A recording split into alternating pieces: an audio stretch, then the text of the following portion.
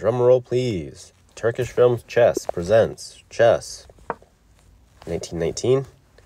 Playing us in 1889 from a country that has a red background and a black, like, elephant looking thing on the front. I think I know what country that is. I get it. I get it mixed up with another country though. So let's see. Okay, he's playing a small opening. This is fine. Okay, we're developing. Queen's Gambit declined. Catalan.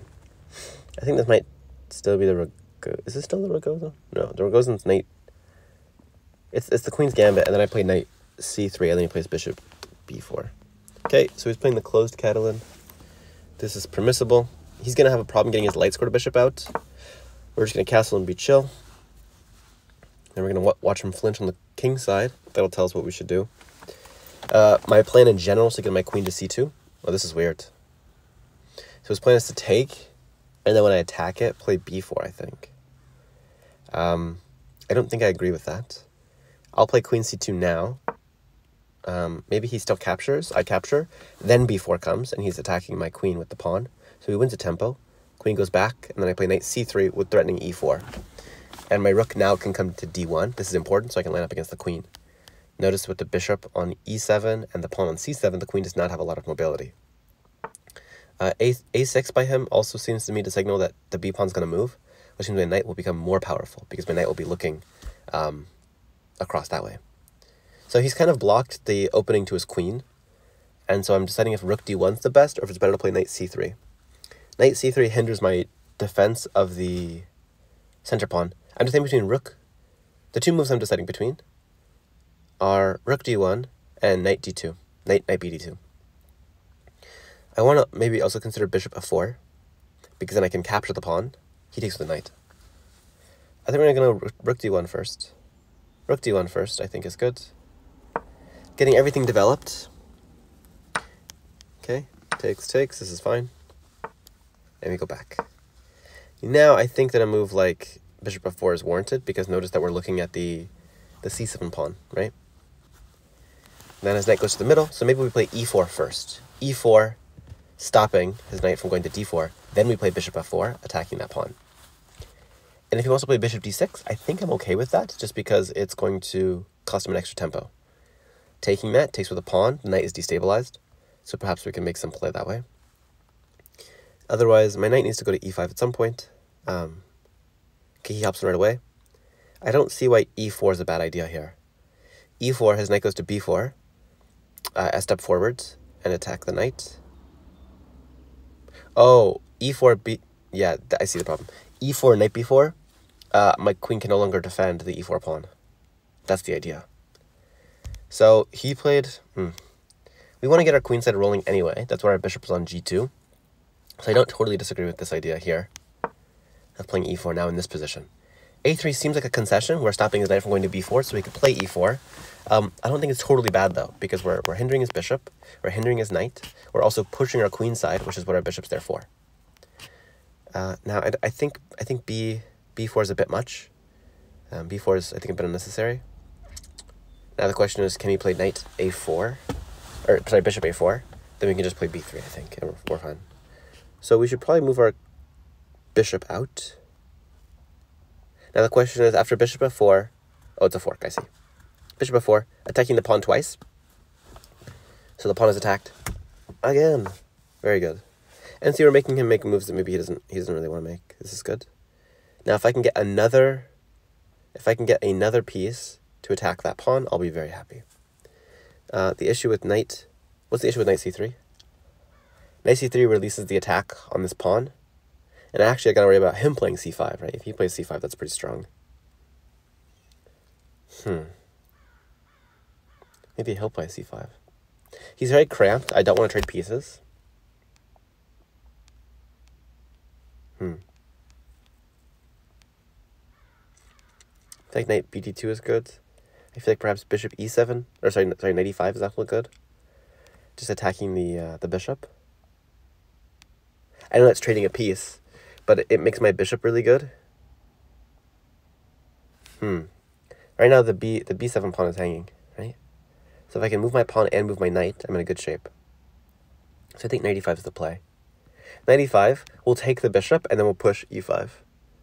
And he does just he just puts a knight on d5. And then I'm and I'm kinda sad. Knight c3 I think just fails to c5. Knight c3, c5. Mm. It's unfortunate. Let's put a knight on e5 first.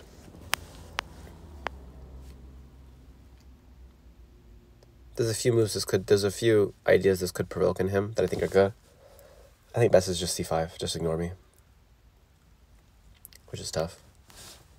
But we're trying to play active chess. This also defends the pawn on e4 again. Yeah, that's just a strange move. I don't understand that at all. Okay, now we'll defend d4. So this does look like it's heading towards mass trades, which is upsetting, but what can you do? Uh, he can he can weaken his king if he wants to.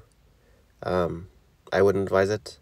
There's actually an issue with weakening the king like this, is that my knight can actually go to g6 in some positions, uh, especially if my queen ends up on b3. Remember how the knight can become destabilized because it's dependent on the c7 pawn, which he's willing to push? He pushes the c7 pawn, um, the knight becomes destabilized, my queen on b3 is targeting the king and the destabilized knight. Just something to look out for, not that it's going to happen right now. I think c5 is, is his best move. Um, I think I take once, and then I probably take the bishop. It's just gonna. I think it just is just I didn't play it right, and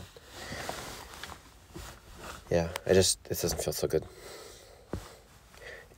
If I take that, maybe there's even bishop, bishop a3 possibilities targeting the e6 pawn. Um, I just I like that his king has he weakened the light squares around his king, right? So I need to get I need to get into the, need to get into those somehow. And I know b3 just seems kind of strange. Or sorry, b6. I, I think probably a really good play is to play a4, a5. a4, a5, where does the knight go? It has to go backwards. And it has to go back to a8, which is a very bad square for the knight to be on. Knight does not want to be there. So if he doesn't play something testing here, a4 is my move. Probably I could have played it in this position. I think I like this a little bit, this version a little bit better, because now when I push, a4 is actually defended. So one question I guess we could ask is something like, is b4 warranted here? See, b4 back in this position. Um, I was worried about him playing c5, so b4 would have been a great way to stop that. The problem with b4 here is that he can put his bishop now on a4. And actually, he wins in exchange there. Okay, he's going for this bishop. Uh, I don't think I totally agree with that decision. I think his knight was really good where it was. And now he's moving it away. So this is, this is a little bit confusing to me. I want, if my king gets open, that's fine. I'm not so worried about it. Uh, I think we push b4 or do we push a4? I want to play b4 so I can stop c5 once and for all. I also want to play a4 to play a5. Tough decision. Tough decision. Tough, tough decision. Can we just push in the middle, actually? I think now's the time you just push in the middle. Just break the center. His bishop is attacked a lot. My bishop's going to become good here. Um, notice that there's nothing he can do. Um, the diagonal's going to open up a little bit for me. Either I take, which is bad for him. And actually, I don't think I take right away. I think I take the bishop first and then take. Um, the point being that if I just take, he can take with the bishop, and my knight and pawn are still a little bit stuck. I want I want all the center pawns gone, so my bishops can really shine. Now, obviously, he's going to take my bishop on f4. This much is clear. Gotta watch out. That knight, that knight is undefended. Yeah, see, this is strange. This is strange. I think I just take and take. I don't, I don't quite understand this. Takes, takes, and now he's just, he's very weak, I think. Yeah, just very weak. There might even be forks here. Gotta watch out for those. Yeah, so his pawn structure is bad. That's good for me to just save my structure, I could just put my bishop back on, I could just put my, just move my bishop backwards, and then I'm attacking the pawn after I push my center. Or I can play a more active move, knight backwards to e2. Knight e2 defends the bishop and also releases an attack on the c7 pawn. So I kind of like that. The issue I think there is just bishop e6. Notice that my rook is attacking his knight. So his bishop is on double duty right now. So if I could somehow swap my rook and my knight, let's say I could put my let's say I put my queen where my rook is and put my rook one square up. That's actually a fork, like a real one. So I'm attacking the knight and the bishop. I'm just gonna be a little bit cowardly and go backwards here. I'm giving up the e5 square, I understand, except for that I have f4. So f4 I think is redeeming quality here. Uh, knight hops into d5, e4, his knight goes to c4, right, attacking, that's pretty good. Uh, and then I can just move my bishop either all the way back or I can even move it forward, I think. Obviously, I'd prefer to move it forward. Uh, and then I'm attacking a lot of stuff at once. Yeah, then I'm attacking a lot of stuff at once. Also, I can't I can't neglect this queen e2 move. This queen e2 move is pretty strong, I think.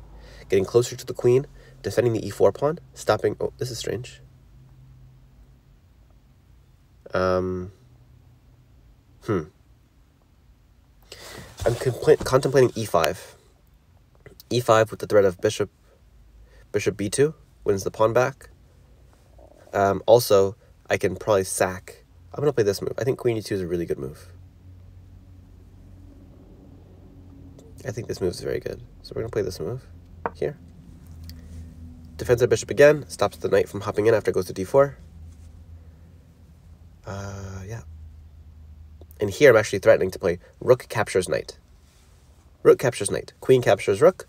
Queen captures knight. So I actually get two knights for the rook. And then I have two amazing bishops.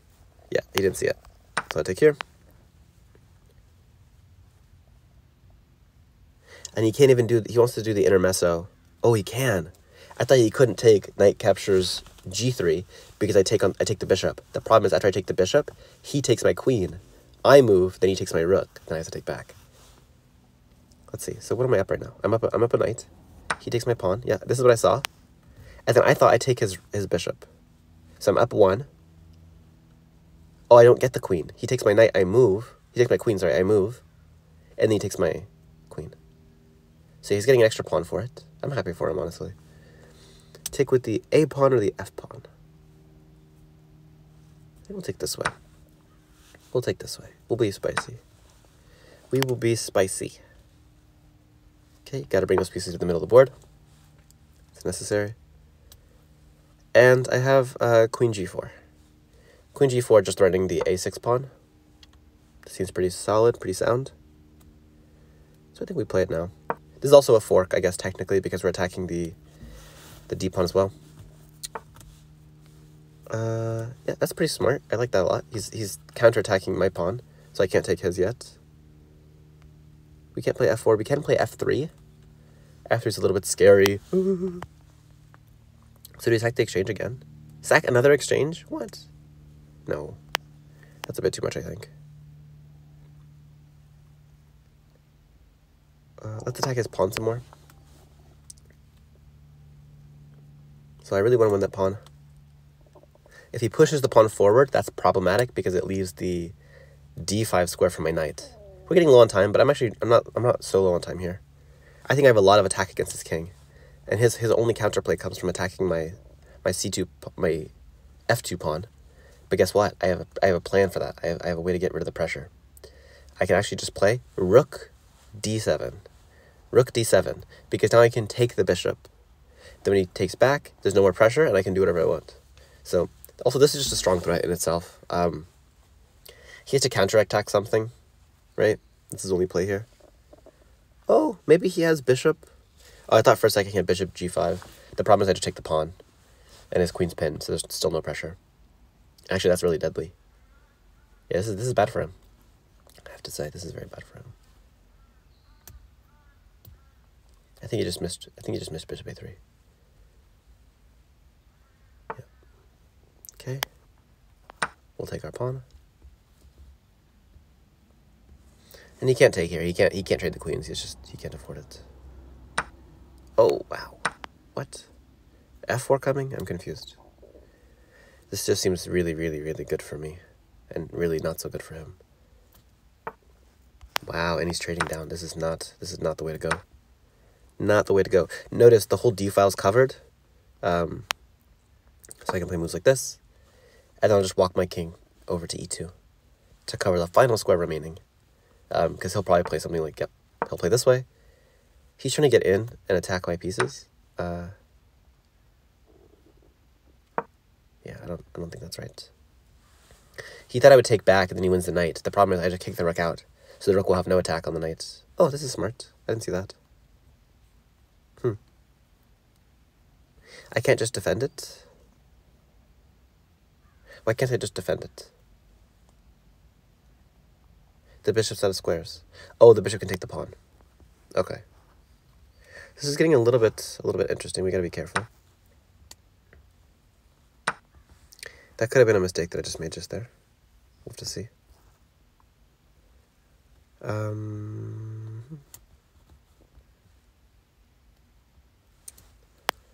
well.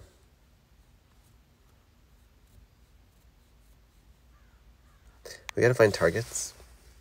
I'm gonna target this pawn here. We have one pawn versus three on the queen side. We have three versus two on the king side. His king is very bad. My king is better. Whoa! I did not see that. That's a huge blunder. Yeah, I, I think I'm losing now. I could have taken the pawn. What did I do? What am I doing? Now we can defend the pawn. Wait, this is weird. I don't think that's right. Okay, maybe I'm blundering again. I guess we'll see. He can't check me because I just put my bishop in front. Yeah, I don't, I don't think this is right. And now I have a sick move. Knight E this way. Check it out. Like this. Oh, that, that's actually bad. It works when his king goes one square over, but now it doesn't work because his knight just goes his rook just goes back one square. And my knight is of the trapped knight variety, which is actually an interesting variety of knight. Gotta watch out for that kind. Uh, we'll go forward like this, attacking him. And I think he wants to defend it with his king. That's problematic, though. Okay, he doesn't. That's smart. Good job not doing that move. It's a bad move, so. Okay, gotta bring the knight back. And how do we win? I just don't. I just don't know how we win. Uh, let's go backwards, I guess. Like this. Attack the knight. If you attack me, there's a chance you can take it. So. We're defending our our G our G pawn's fairly unattackable at the moment. This seems good to me. Okay, he's gonna go for the G pawn. So let's push the G pawn to keep it safe. Just gotta wait for the opportune moment. Oh, wait a second. We had we had a plan there. We had we had, we had a discovered attack on the on the King of Roux.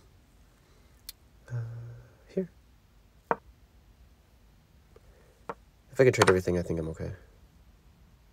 I could be wrong, but I think I'm okay. He's running out of time. Oh my goodness gracious. And of course I blunder. Running out of time.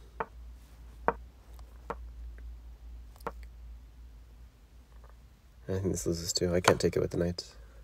Here.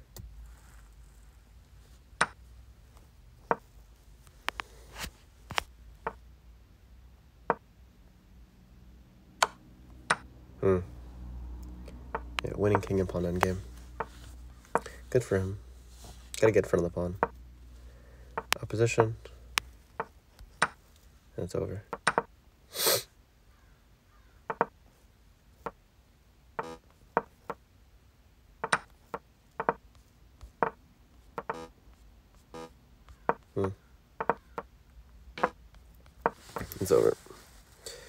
All right, well, GG. I think we played a fairly strategic game. Honestly, like I, I was not, I was not at all disappointed with how I did that. Um, I made tactical errors, which is unfortunate. But I feel like my strategy wasn't totally, totally ridiculous. He's 18 seconds. Let's see if he chokes it.